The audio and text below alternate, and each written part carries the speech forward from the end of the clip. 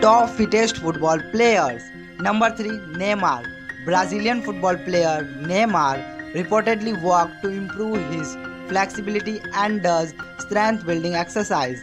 Apart from that, the PSG player indulges in yoga, boxing, hiking and tennis.